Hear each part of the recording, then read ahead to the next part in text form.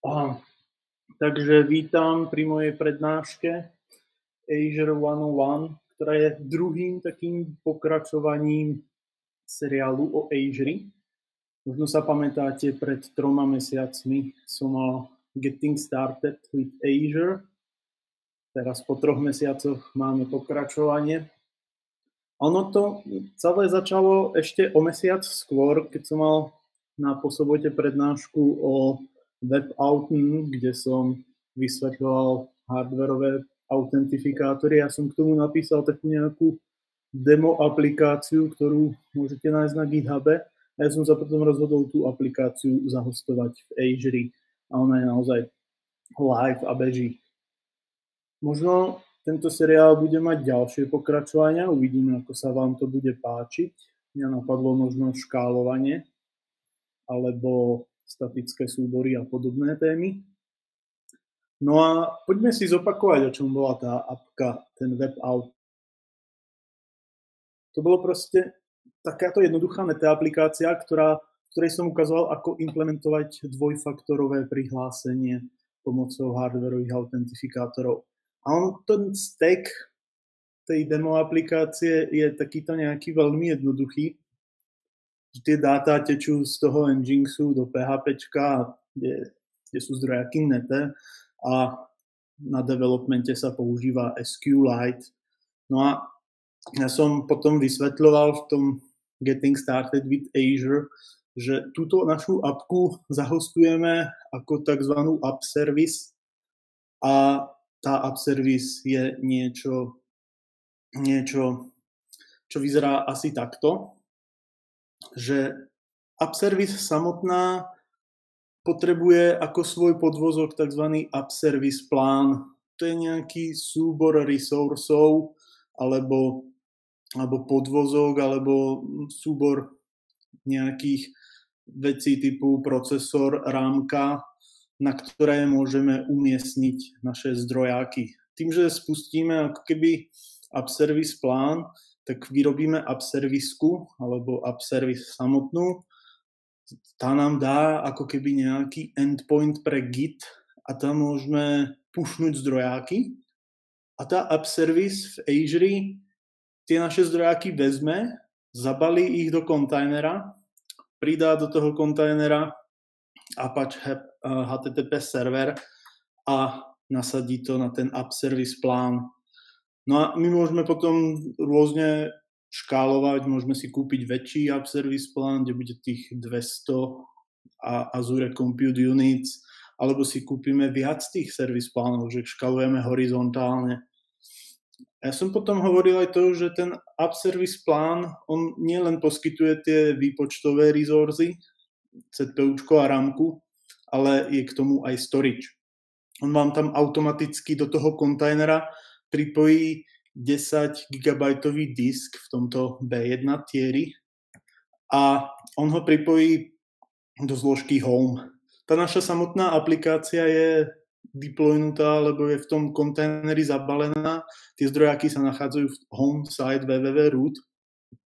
A vždy, keď nasadzujete novú verziu zdrojákov, vždy, keď pušnete do toho repozitára, kde sme videli na predošlom slajde, tak sa vyrobí nový kontajner a ten kontajner má komplet nový obsah, ale tým, že sa primountuje ten disk, tak dáta, ktoré ste si uložili do lomka home, zostanú perzistované. Môžete si tam urobiť napríklad adresár home uploads a tam budú ľudia uploadovať svoje obrázky alebo faktúry.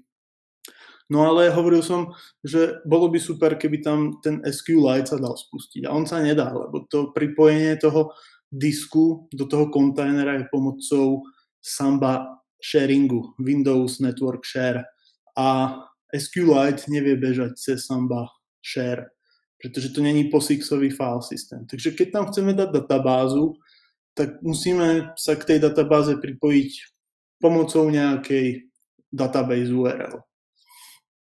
A pomocou nej tá aplikácia nájde databázu, a môže s ňou komunikovať. Čiže tá databáza musí byť pripojená sieťovo.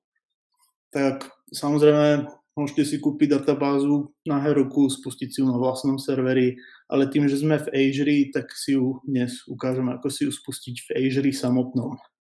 A aké databázy, ako nám Azure ponúka, tak sú to také klasické MySQL, MariaDB, je tam Postgres a potom vlajkové lode Azure alebo Microsoftu, to je MS SQL server a Cosmos DB. Cosmos DB je niečo, čo je vlastne ako CDN pre databázy, že databáze sú deploynuté po svete a zákazníci zo Singapuru nepolezú na databázu v Londýne a celé by to malo byť konzistentné v čase. My sa ale budeme zaoberať iba týmito dvoma. Postgres a SQL, pretože, pretože ten prvý je taká defaultná defaultná voľba pre všetkých developerov, ktorí pracujú s open source nástrojmi a jazykmi. Tak si poďme pozrieť, ako je tam riešený ten Postgres. Chceme napríklad vedieť, koľko stojí Postgres v Azure. Tak začneme googliť, alebo tuto používam start page Azure Postgres, kliknem na prvý link a tu vidím jeho domovskú stránku, tejto služby, kliknem na pricing, zlezie to dole, tu je nejaké takéto tlačidlo. A som na pricing stránke, teraz tu vyklikám nejaké základné parametre, región, mesačne ve vrách a vidíme, že máme že nám to ukazuje na začiatku basic tier, stojí to 24,50 na mesiac. Jedno jadro, 2 gigaramky, ako taký veľmi slabý server chcem skúsiť General Purpose. Tu už vidíme, ako tie ceny letia strašne hore. Za dvojadrák, 10 gigarámky, to už je niečo, čo by šlo do produkcie. Keď si tú databázu predplatím na 3 roky, tak budem platiť iba 62 mesačne, 62 eur, ale musím na začiatku zložiť 2200 eur a potom na 3 roky už nemusím skladať nič. Ale vidíme, že tá zľava je tam 50%. Toto majú všetky cloudy, tzv. reserved instances, umožňujú takéto obrovské zľavy. Dokonca v Azure nájdete zľavy až 70%. Ale tá platba musí prebehnúť upfront na začiatku. A zároveň to není veľmi flexibilné. Vy sa na 3 roky ako keby ju zamknete na dvojadrovej 10 GB databáze. A čo ak sa počas tých troch rokov zmenia vaše požiadavky. Takže je to také, neviem, že či je to win-win situácia ako sa taký ten Postgres nakliká v samotnom Azure portáli. Ja som hovoril, že ak chcete nájsť nejakú službu, ktorej, ktorú nemáte priamy odkaz, kliknite na All Services a v tom filtri napíšte, čo hľadáte. Že hľadáme Postgres, našli sme ho takto. Toto je jeho blade, kliknem Create a idem si vytvoriť single server. Ten musí byť vždy umiestnený v nejakej resource grupe, potrebuje nejaké meno, musí byť globally unique to meno. Umiestníme si to do nejakej vhodnej lokácie, napríklad západná Európa. Tu vidíme, aké verzie sú momentálne dostupné. No a tu vidíme ten nadstavenie ako keby toho tieru tej našej databáze. Prepli sme to na Basic, jedno jadro, minimum 5 GB a vidíme, že to dáva nejaký presnejší výsledok. 25 dolárov mesačne je najnižší možný poplatok v Azure za Postgres. Treba ešte k tomu serveru nadstaviť nejaké, nejaké prihlasovačky, rúta to nebere, tak som tam dal srigy. Teraz to zase piskuje, že to chce číslo v tom hesle, tak tam pridám 1, 2, 3 additionals infrastructure double encryption, dvojité enkryptovanie nepotrebujeme. Na konci v poslednom kroku je validácia a potom taký súhrn. No a ak to všetko sedí, tak to proste iba odošlete a ten Postgres sa v tom Azure začne zakladať. Ono to trvalo real-timeovo 3 minúty 30 sekúnd. Ja som to zrýchlil asi 100 krát, takže to zbehne za nejakých 15 sekúnd a takto vyzerá dokončený deployment Postgresu. Modrým tlačidlom sa do neho priamo pozrieme. Takto vyzerá bežiaci Postgres na Azure Cloude. Veľmi dôležité na začiatku prejsť v tom druhom blade zľava do Connection Security a nadstaviť si, ja som to tam nezaklikol, potom som to zaklikol neskôr, uh, allow access to Azure Services. Prednastavené nie. A potom pridať prístup pre svoju vlastnú IP z môjho stroja. Potom to treba savenúť, aby ste sa vôbec na tú databázu mohli z domu pripojiť. Tu sú potom aj pripojovacie stringy do rôznych jazykov. Vidíte tam hlavne ten hostname, ktorý je pre vás najdôležitejší. Azure.com a predtým je nejaká subdoména, subdomén. Server parametre, je to akože fakt plne bežiaci Postgres s tými výkonovými parametrami, s ktorými sme e, si ho zakúpili. Môžeme si narobiť dashboardy, napríklad vyťaženie ZPUčka. Vždy doporučujem proste si urobiť metriku a pomocou tohto tlačidla si urobiť dashboard, narobiť si x grafov, Môžeme sa pozrieť na logy, to si treba ale trošku kúpiť. Server logy sú dostupné, len treba ich stiahovať, nedajú sa priamo ako keby pozrieť. Takže toto je Postgres v Azure. Taká tá defaultná voľba, fakt na konci z toho vypadne nejaký pripojovací string a ten zadáte iba do svojej aplikácie ako database URL. Tam akože vôbec sa to nejako nelíši od nejakého generického Postgresu alebo Postgrese v Dockry. Tu sa na ňo skúsme pripojiť. Dôležitá vec je, že ono vám to začne najskôr zlyhávať, pretože nemáte vytvorenú databázu a napríklad Table Plus, program, ktorý používam na pripojenie, ma ako za to vypiskoval. Ty nemáš zvolenú databázu, tak ja som tam nakoniec musel dať tú template 1, aby som sa mohol pripojiť. Takže ten Postgres server na začiatku ne, ne, neobsahuje žiadne databázy. Sa k nemu pripojím a napíšem tam create database webouten pre tú našu aplikáciu. Ja to odošlem.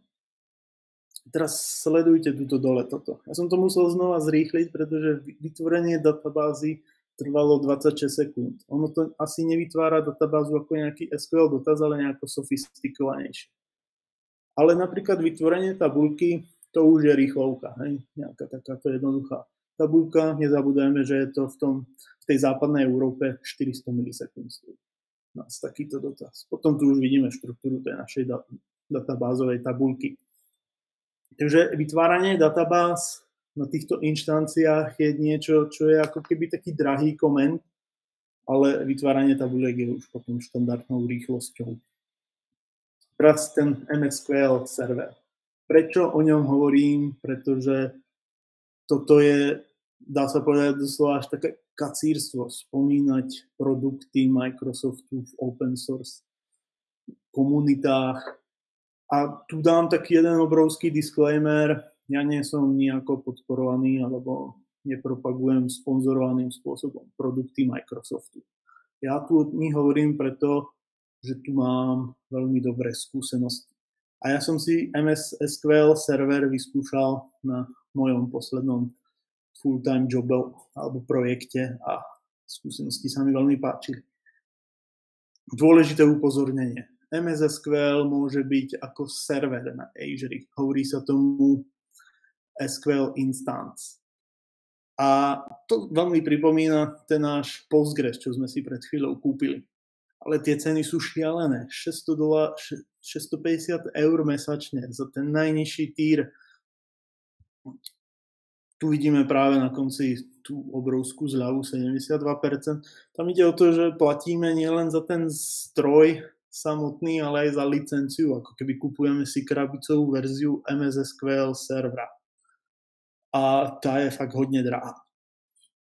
Oni ale majú službu, čo sa volá Azure SQL databáza, že není to server, ale si kupujete ako keby tú database, ten príkaz create database SQL a to, čo z toho vypadne, to oni predávajú ako produkt.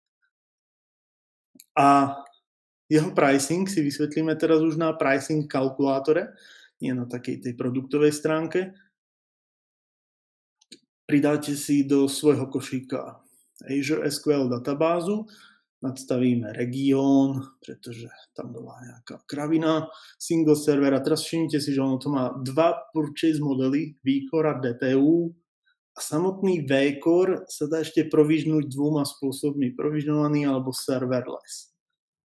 No dobre, necháme také tie defaulty, vysvetlíme si ten V-Core provision. Dvojjadrový, boom, 390 eur za mesiac.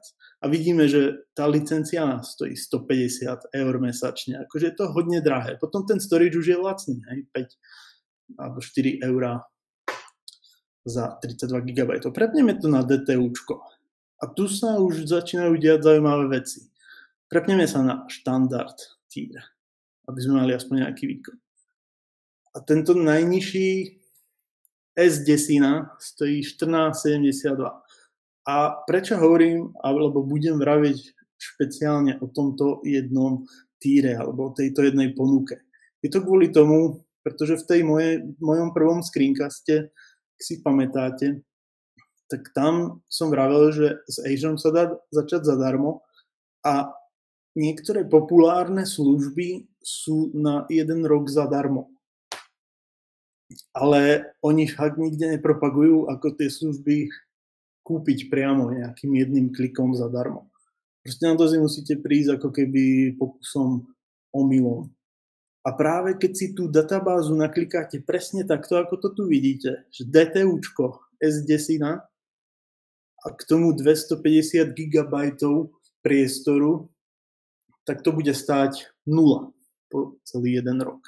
No a vtedy začnú vyskakovať ľudia, ktorí hovoria, no ale po tom roku to začne ťa ten Microsoft úplne zdierať z kože a ty si urobil vendor lock-in No ale zdierať z kože mi nepripadá 14,72 za mesiac. To je vlastne ako ten Postgres.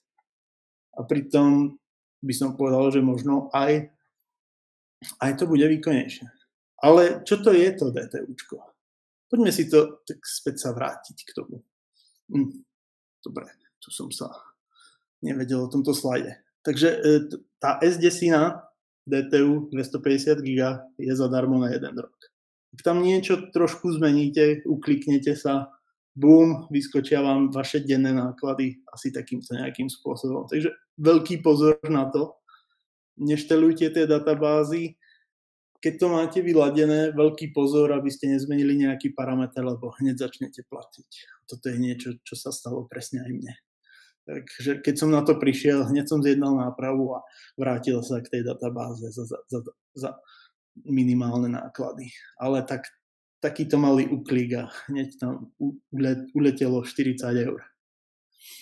Takže späť, o čom som chcel hovoriť. Ten purchase model. VCore. V princípe potom ešte máme to serverless a DTU. A ten VCore je o tom, že vy si vlastne kúpite nejaký priestor a nejaké virtuálne jadra.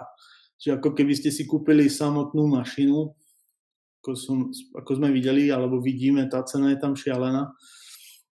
A, ale je to proste niečo ako, je to proste fyzický stroj niekde v cloudoch Azure a môžeme sa spolahnúť na jeho výkon. Hej, asi budeme si vedieť predstaviť, aký výkon má dvojadrový Xeon na 3 GHz alebo 3,5 GHz. Toto sa hodí fakt pre niekoho, kto má permanentnú záťaž serverless je taký zaujímavejší spôsob a hodí sa na niečo úplne iné.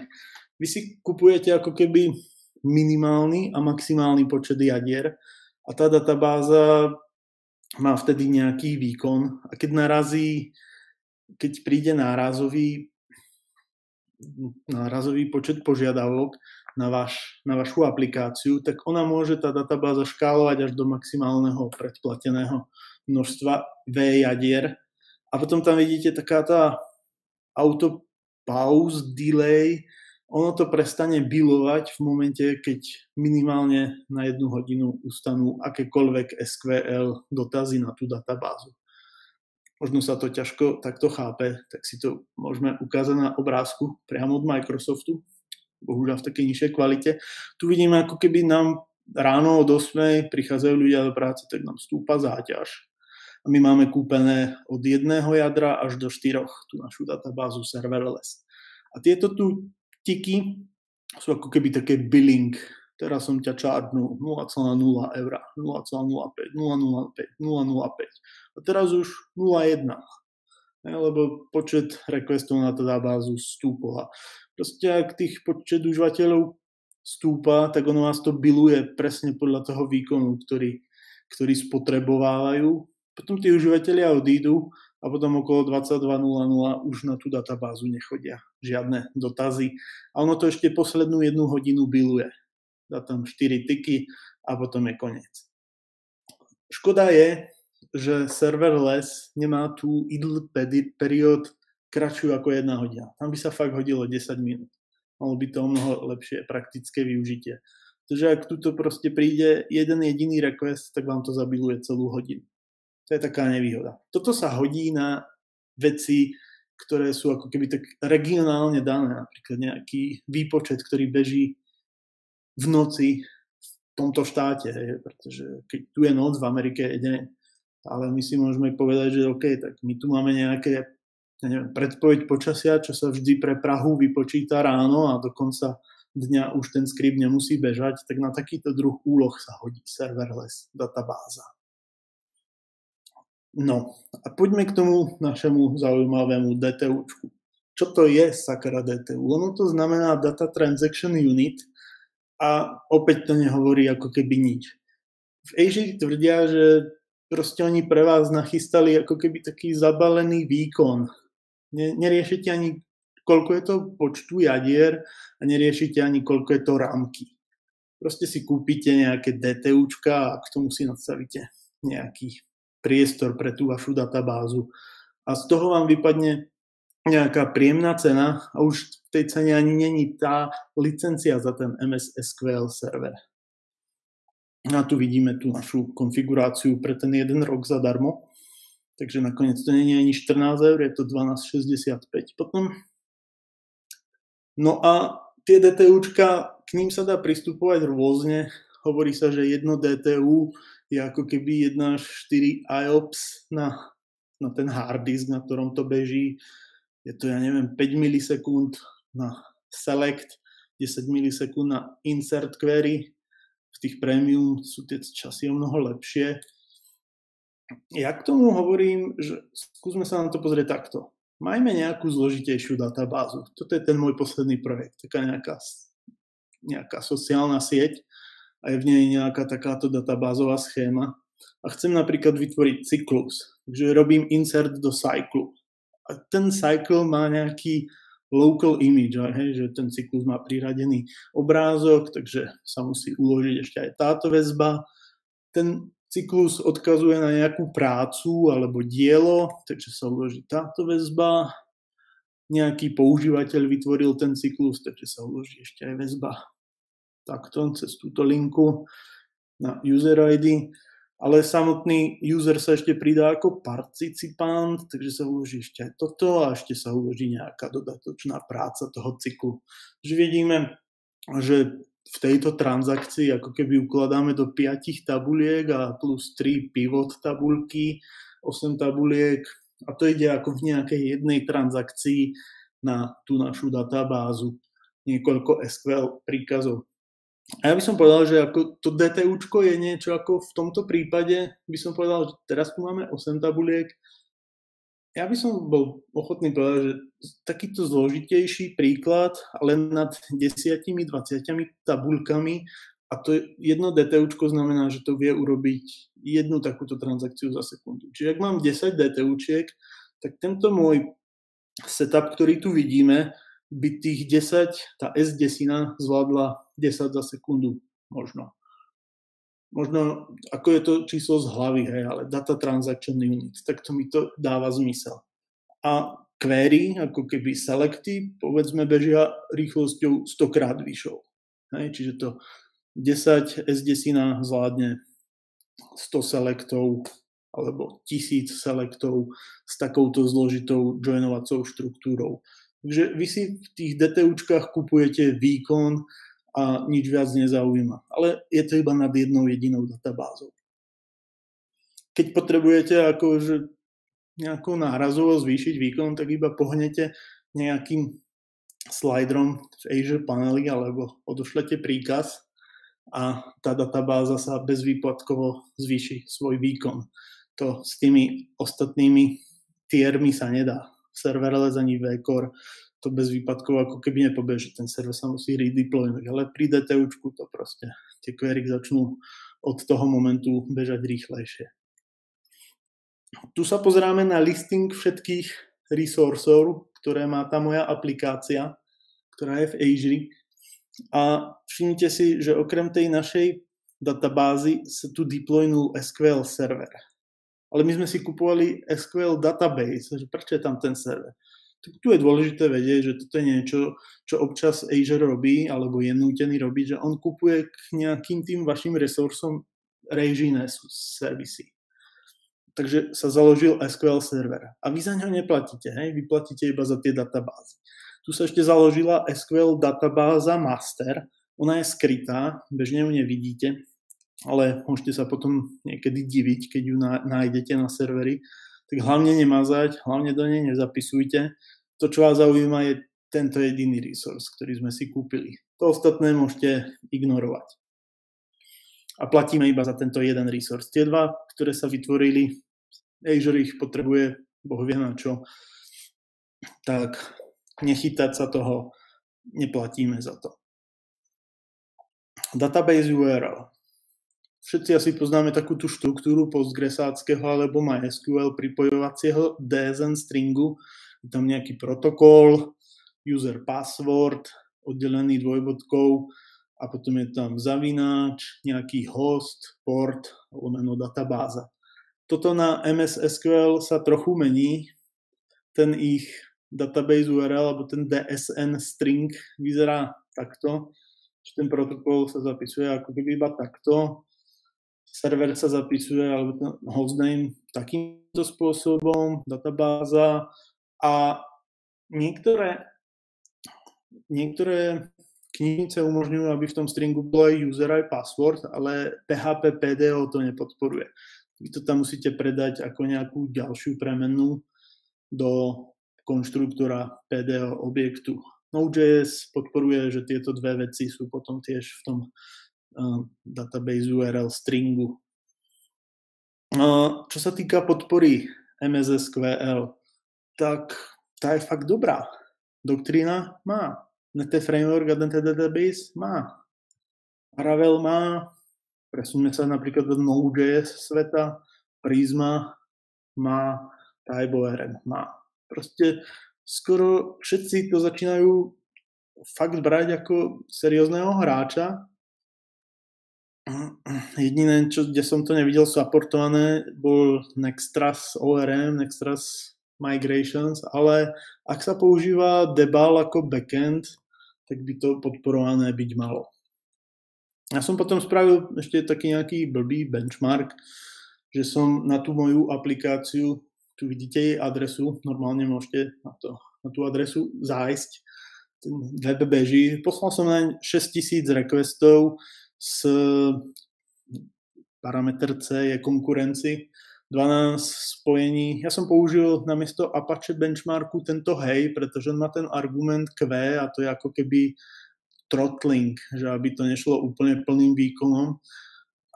Takže som odoslal 6000 requestov z 12 paralelných spojení, ale každé jedno spojenie trotluje iba na 5 spojení za jeden čas.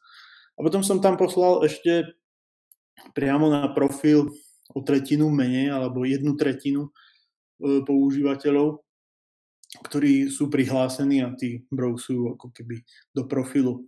No a to som odoslal, chvíľku to bežalo a tu vidíme výsledky prvého a druhého benchmarku, ktoré bežali paralelne a popri tom som ešte trošku preklikával ten web a vidíte, že odozva bola akože v prípade toho prvého, že ten ako keby návštevník, ktorý prišiel na tú stránku, tak proste 99% z nich to zmalo do 1,3 sekundy. Tí, čo išli do profilu, tam už sa robí nejaký SQL prí, príkaz, listujú sa tam tie hardwareové autentifikátory a zároveň sa asi nejako procesuje seshnavnete, takže tam už je to trochu horšie tie časy. Ale prečo o tom hovorím? Ja som počas toho si narobil dashboardy, a ten benchmark vypadá potom takto z pohľadu toho NET alebo toho Azure.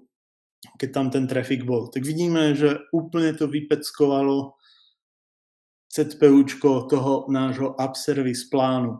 No, potom odišlo tých 6000 príkazov, tak ja som rýchlo ešte pustil ďalších 6000, aby to tam nabehlo znova. Rámka tá sa moc nehýbala.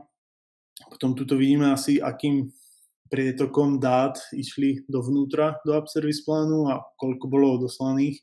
Vidíme, že tam je ten pomer 1 ku 25, čiže nejaký malinký request a veľký response. Samotná web appka alebo app service, hej, tu sme sa bavili o app service pláne. A samotný app service, vidíme, že tam bušilo 1400 requestov za sekundu v niektorých momentoch. Response time bol nízky, potom tuto je nejaký, nejaký pík, neviem prečo to tak vybehlo, to je jedno.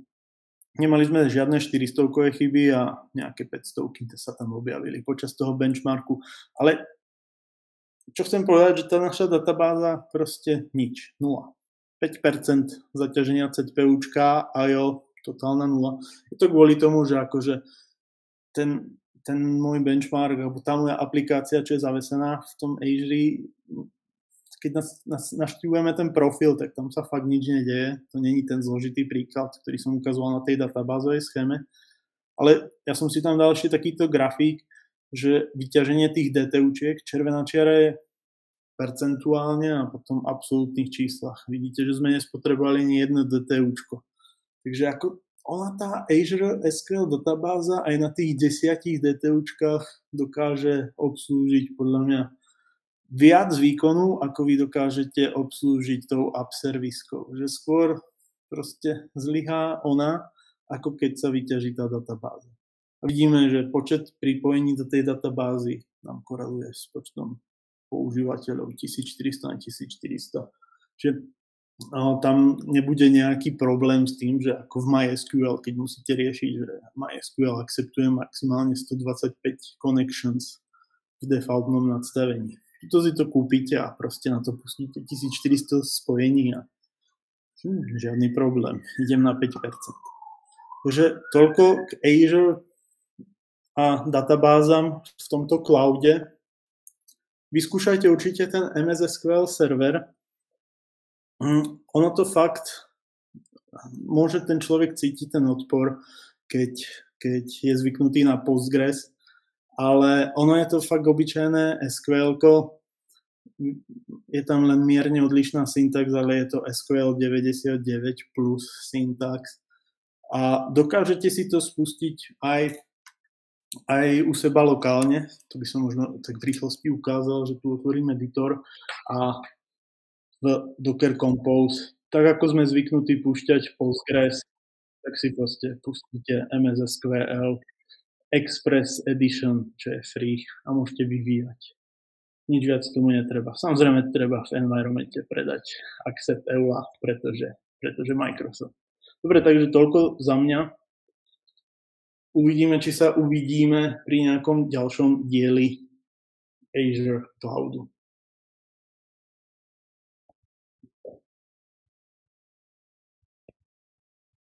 Honzo?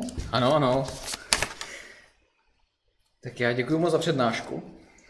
Já jsem se, uh, vlastně rád bych se k tomu zeptal, proč vlastně, uh, jenom jestli bys mohl zhrnout, proč vlastně používat Azure, uh, nebo vlastně vůbec jako cloud, když si to srovnám třeba teďka jako, by se šel na Vedos nebo na něco takového, tak mně to přijde vlastně hrozně jednoduchý.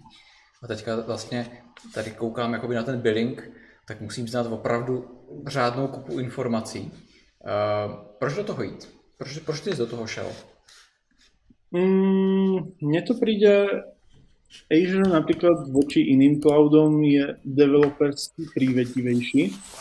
A otázka, že prečo ísť do samotného cloudu, pretože tam sú tie služby. Hej, že veľmi veľký problém bol, že Digital Ocean nemal Postgres, uh-huh. alebo žiadne databázy, alebo storage pre uploady. A čakalo sa na to pomaly 6 rokov, kým to tam pridali a potom, keď to tam pridali, tí ľudia to začali ako keby natívne využívať. Uh-huh. To pripojenie k databáze v rámci cloudu, to je tak rýchlych sieťach, že to v princípe pripomína localhost aj keď je to na úplne inom stroji. Uh-huh. ty si tie stroje proste nakupuješ, ako sme videli, nejakým skriptom v Terraforme napríklad. Vo VDOSe verím tomu, akože, že tam bývali vždy tie balíčky, zdieľané PHP hostingy plus MySQL databáza, ale keď si chcel hoci čo ďalšie, ja neviem, search engine nad Bingom tam nemáš, to si nemôžeš pridať. Mm. Alebo rozoznanie nejakých emócií v písaných komentároch, aj takéto blbosti sa tam dajú kúpiť. A zároveň je tam strašne dobrý support. Hej, to je zase trošku veľký rozdiel oproti Google. Google má stratégiu strieľaj a potom ani nedozvieš, prečo si zomrel. MySQL alebo v Microsofte v Azure oni ti tú svoju službu, keď je nejaký fraud, neodstrelia. Oni ti pošlú e-mail, že hello, máš tu nejaký problém, niečo sa deje s tvojou apkou, porieš si to predtým, než to vypneme ale v princípe tá škálovateľnosť je asi tá a pohodlie developera. Ty mhm. najväčšie, najvětší benefity cloudu. No já jsem se na to právě hlavně ptal, protože vlastně v tom příkladu s tím WebAuthn, jak si ukazoval, tak eh, to vlastně úplně nedává smysl, že tam by to bylo nejjednodušší. Jo, to je babenko. Tak, tak, to beží, tak. To beží z toho, z toho 170 eurového kreditu na prvý mesiac, ale vravím, tá MS SQL databáza potom pobeží ďalej zadarmo na ten jeden rok. Uh-huh. Ono to má dávať taký priestor, aby si stihol vybudovať svoj biznis a potom ťa tie poplatky nezabili a ono aj tak tých 14 už ťa nezabije. Uh-huh.